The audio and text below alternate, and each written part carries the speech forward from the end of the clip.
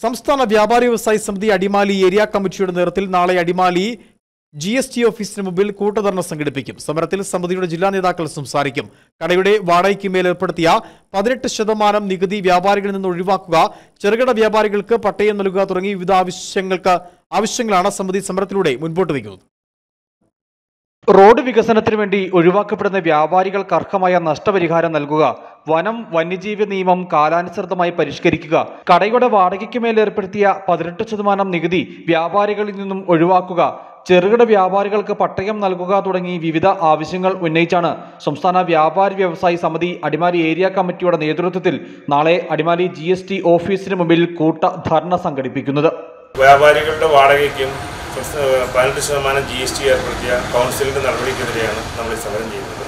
മുൻകാലങ്ങളിൽ വ്യാപകമായ സമരത്തിന്റെ പ്രതിഷേധങ്ങളുടെയും ഭാഗമായിട്ട് ഈ ഈ നയം വേണ്ട എന്ന് ഒരു പരിധിവരെ തീരുമാനിച്ചിരുന്നു.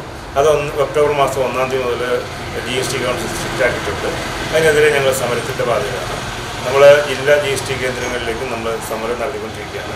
വളരെ ദോഷകരമായി നിൽക്കുന്ന സാഹചര്യത്തിലാണ് ഞങ്ങൾ ഈ സമരത്തിന് സമരത്തിന് പ്രേരിതമായിട്ടുള്ളത്. സമരം വ്യാപാരി വ്യവസായി സമിതി ജില്ലാ സെക്രട്ടറി സാജൻ കുന്നേൽ ഉദ്ഘാടനം ചെയ്യും.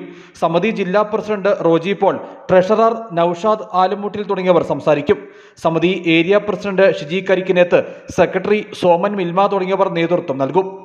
News bureau Adimali.